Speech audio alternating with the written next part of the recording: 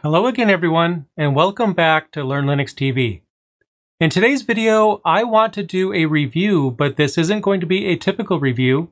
Normally, I review Linux distributions, laptops, desktops, even servers, but today I have this gadget right here, which is a Tiny Pilot KVM, and I'm really excited to check this out because I was looking for a KVM, and now I have one right here in my hands ready to go.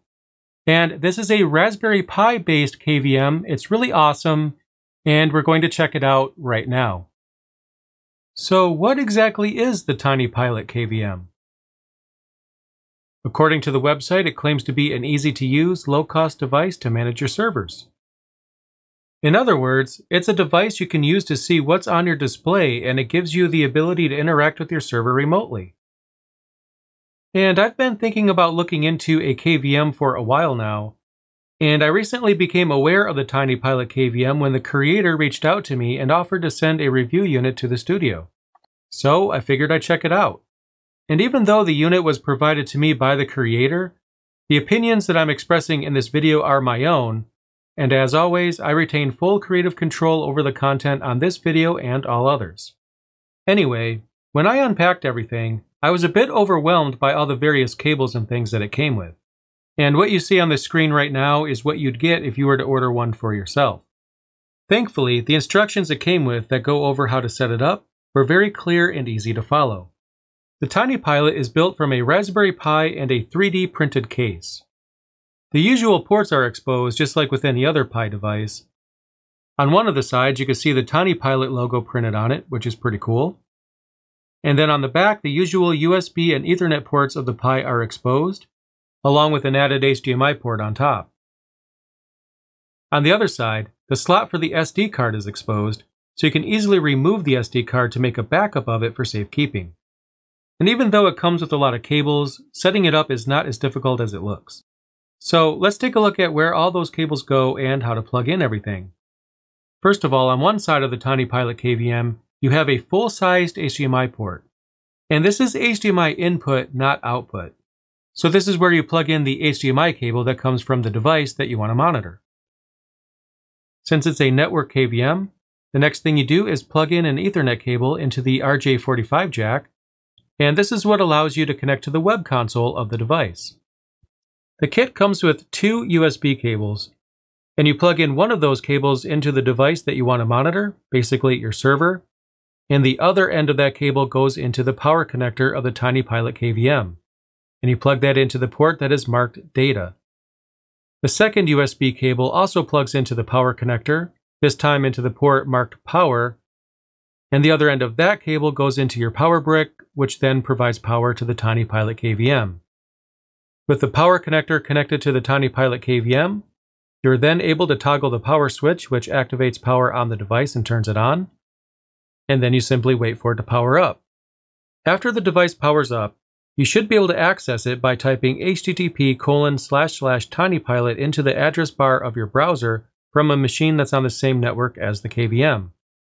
The device will have a locally signed certificate, and you will need to bypass that warning in order to access the console. And when I did that, I immediately saw the display of the server inside my web browser.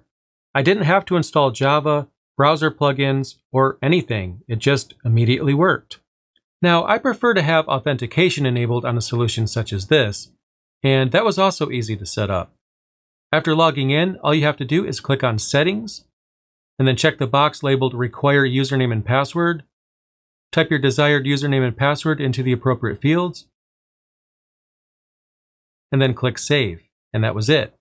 And then the next time I logged in, it prompted me for my credentials, and I was good to go.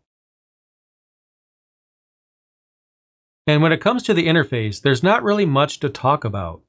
Not because it isn't useful, but because it's very simple.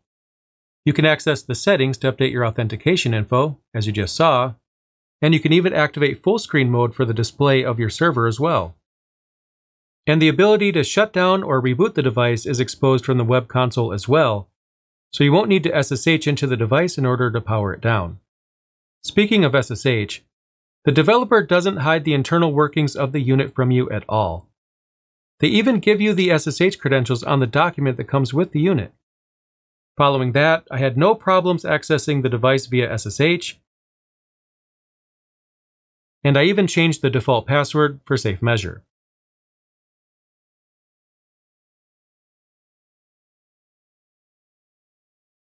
So you might be curious, why would you want to use SSH to get into the device? Well, one reason is that you might want to enable Wake on LAN, which is a really awesome thing that you can do on the Tiny Pilot KVM. Actually, Wake on LAN is not specific to the Tiny Pilot at all. You could do that on any Raspberry Pi that's on your network. But the general idea is that if you are using your server for home lab purposes, then it might be a waste of power to keep your server running overnight when you're sleeping, Maybe you could shut it down when you go to bed and then power it on when you wake up. But if you were to purchase a Tiny Pilot KVM, then it might make sense to set up a cron job with a wake on LAN command to wake up your server in the morning around the time that you wake up so you don't have to remember to do it. And then on the server itself, you could set up a cron job to shut it down at night about the time that you go to bed, which means that with the Tiny Pilot KVM, you could actually consolidate a utility device as well that will actually wake up your server when you wake up in the morning, which will help you save power. Again, this is not specific to the Tiny Pilot KVM, but the way I see it, if you purchase a device to manage your servers, then definitely have it manage your servers, including Wake on LAN. Another thing that I really like about this solution is that it's open source. So if you are curious about how to set this up, or you might want to consider building your own, you can check out the source code and see how you can go about doing that. The fact that the source code is exposed and is open is great. On my end, I'm more inclined to trust a device that's open source than one that isn't, so I think that's a definite win. So I'm really happy to see that the code is open source. I think that's great. So, who might benefit from such a solution? After all, a lot of servers out there have an IPMI console built in that lets you do the same thing. And not only that, you can buy used IKVMs on eBay but a lot of those are expensive, some require licensing fees, and worse, they often require Java in your browser in order to function. This one in particular doesn't need Java or any plugins, which is awesome. It just works out of the box, there's nothing to install. You just add it to your network, connect the cables, and you're good to go. As far as whether or not this particular device will be useful to you, it all depends on what you need a KVM for. For me, my Supermicro servers have IPMI built in, so in my case, there's limited benefit there. But this solution will work great with my older Dell servers because they're too old to benefit from the HTML5 iDRAC that Dell provides, and those require Java in order for me to view the console. With enough motivation, you can get that to work, but I see something like this as being a better solution than messing with Java and lowering the security of my browser. In addition, if you decide to use a laptop as your hypervisor, Similar to what I went over in my recent How to Home Lab video, the Tiny Pilot KVM can give you an IPMI style interface for your laptop that you'd normally only have with a proper server. One downside though is that you won't be able to boot your server from an ISO image with this device, at least not yet.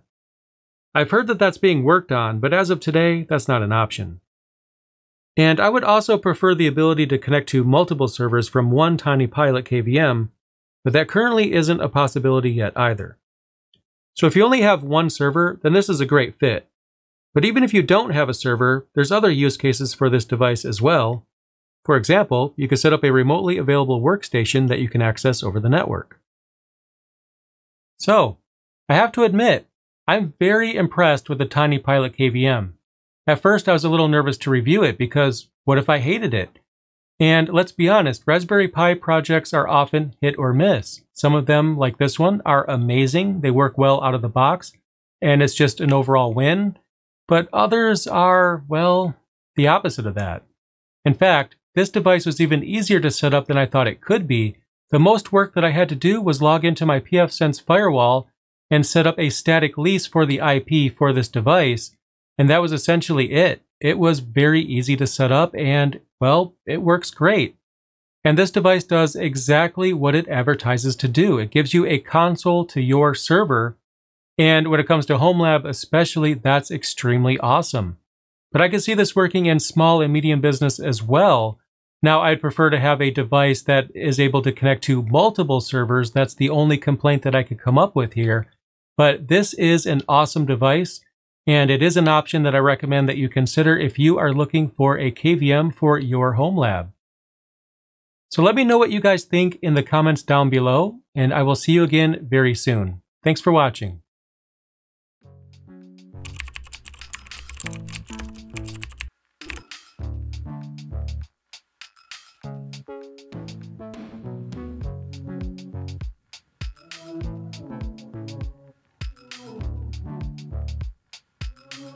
You.